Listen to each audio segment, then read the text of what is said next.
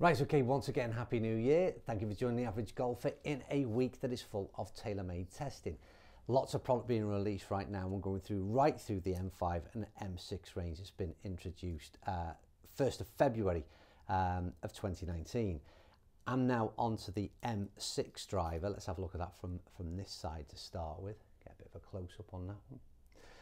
I'll throw some images up actually and uh, you can give me some opinions in the comments below on what you think in terms of looks. Um, we're going to do this review just a little bit different. We're going to talk inside here about how this thing looks, maybe talk through the tech spec from TaylorMade and then we're going to get out on the course and also collect some dry ball data and then back into here to discuss the findings from this whole review.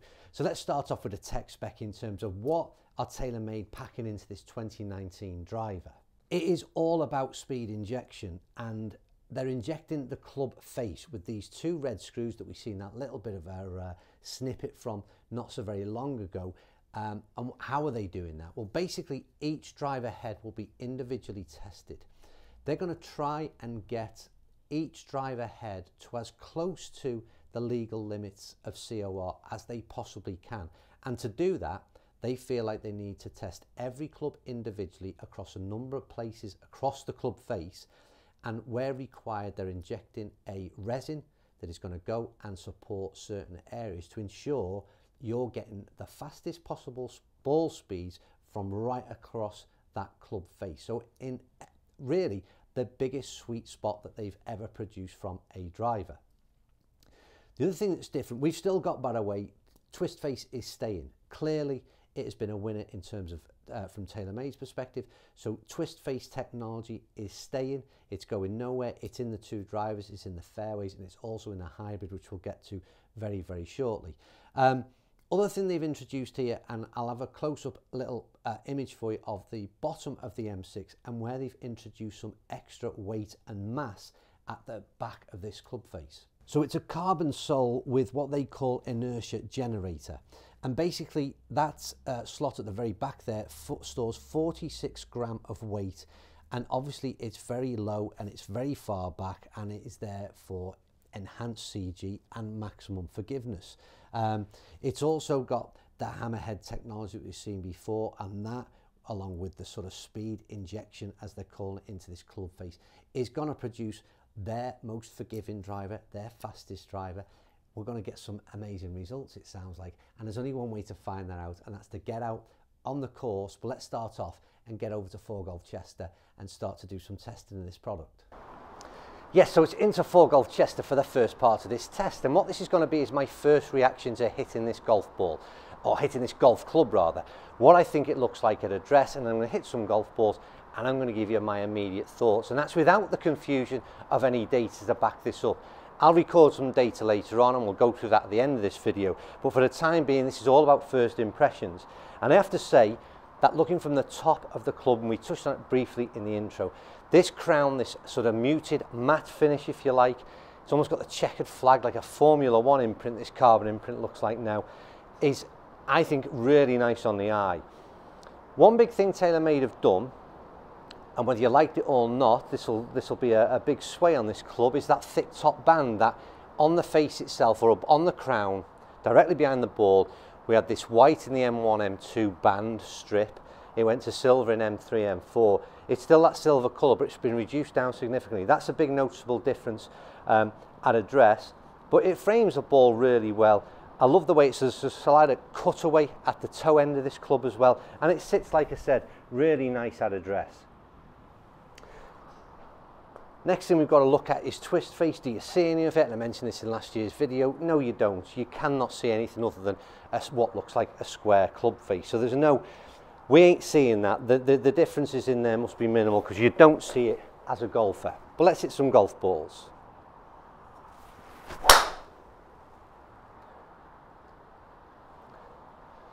It's a high launching ball. Don't forget, so we've got this uh, club set up, just a quick reminder then it's 9 degrees. Um, I'm using this Atmos stiff shaft in this club. First ball has gone off um, very well indeed. Let me hit some balls first and I'll give you my, my thoughts.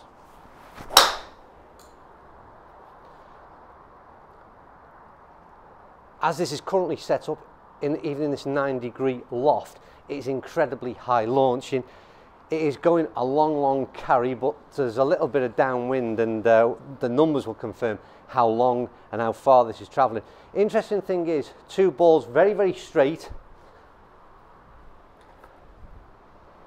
Always been the same in terms of twist face is uh, how do you how do you spend the time? Someone's got to spend the time in sort of trying to work out does that work or not? And uh, it'll need a better man than me to prove that or not. But uh, first two balls and third that's the best ball out of the lot. That's gone for miles. Very impressive. A couple of things to note. Different sound from previous models. Um, I'd say slightly more muted sound. There ain't no sort of gunshot going off. The immediate feel out the club face is speed is power it's firing out there. Um, Distance-wise, I have no idea what this thing is doing, and that's what will get backed up with some dry ball data at the end of all this. So from here, the obvious thing is to take this out there on the golf course, so I'll see you on the golf course, and we'll hit some balls straight off the tee.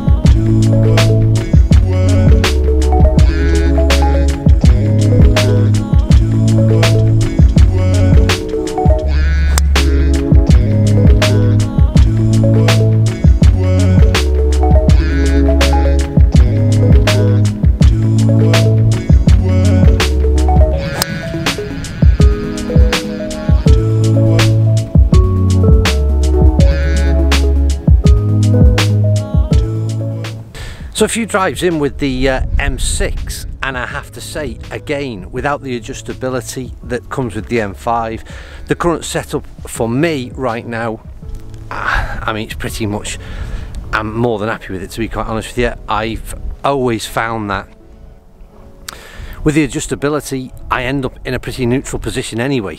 Uh, so for me the kind of uh, the neutral position that's set up in this M6 is pretty damn good. Ball flight is high. I think it's certainly aimed at uh, people who perhaps struggle in terms of launch off the tee. It's certainly firing a ball high up there. It's not overly windy today, but maybe in some uh, windy conditions out there on a links, then maybe the ball flight is a little bit too high. That'd be something to consider. In terms of performance, a lot of these TaylorMade clubs have got a totally different sound and feel for me and it's a lot softer, it's a lot quieter, it's a lot more muted.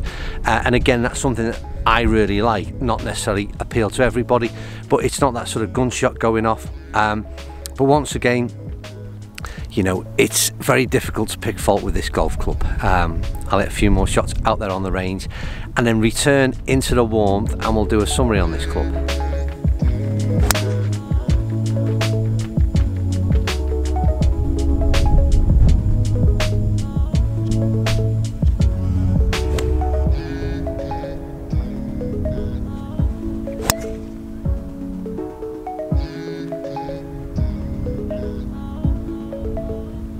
We've been on the course, we've got the dry ball data, everything we need to know so far about the M6 driver. And I say so far, I said it with the M5, I'm going to do further testing on this club and get a better idea of whether or not A, twist face has got some um, workings, is it actually working? And again, this injected resin in terms of ball speeds across the club face, I'm going to have a closer look and see if we can identify if that is the case.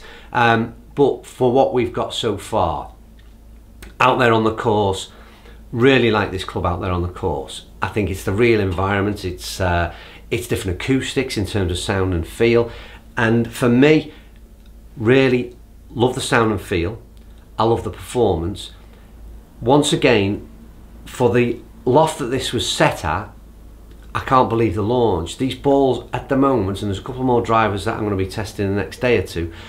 The ball flight on these things at the moment in terms of launch are absolutely flying out there. Perhaps even, like I said, a little bit too high for me. Perhaps need just dropping down a little bit. And that would again be by spending more time in terms of A, perhaps even the shaft in this and also taking this down a little bit in terms of this nine degrees worth of loft. So um, back to the looks, I suppose, first of all as well, I'll give you my opinion on the looks. I much prefer the looks of the M6 and the M5 let's start off with the M6 I suppose first of all. I like the looks, I love the looks of the M6. Um, much more toned down.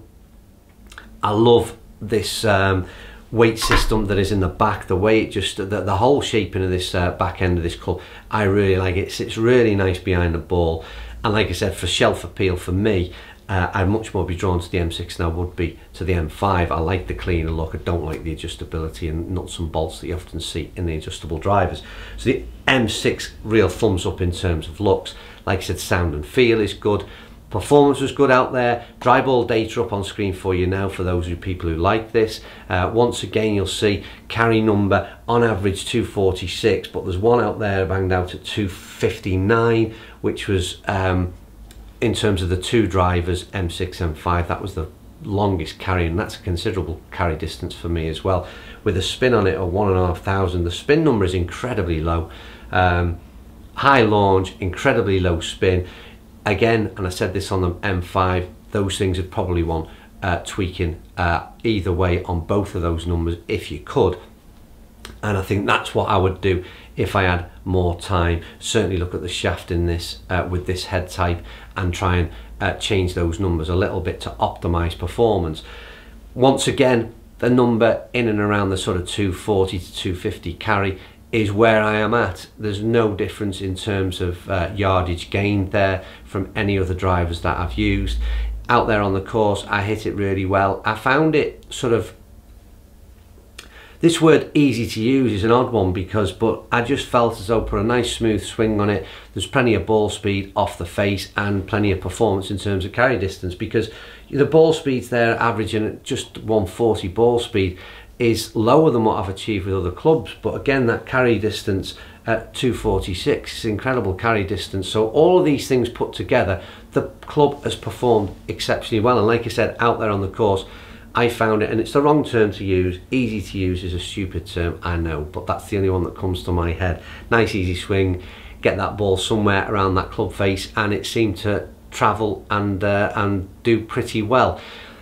I'm gonna, oh, and once again, I'll make the same statements as before. Have I seen any noticeable difference in performance from M3 and M4 at this stage? Absolutely none whatsoever. No, I have to be honest and say that.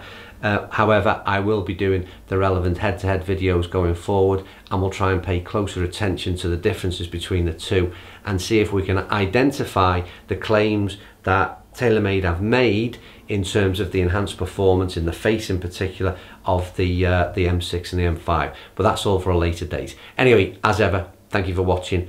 Hope you enjoyed that. Try to give you as balanced a view as possibly can as ever. So comments down below and let's have your thoughts on this one